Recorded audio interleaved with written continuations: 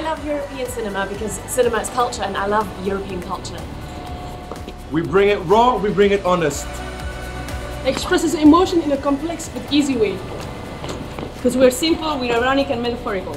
Because it's poetic, creative, free, and complex. For taking its time. Constantly renewing itself.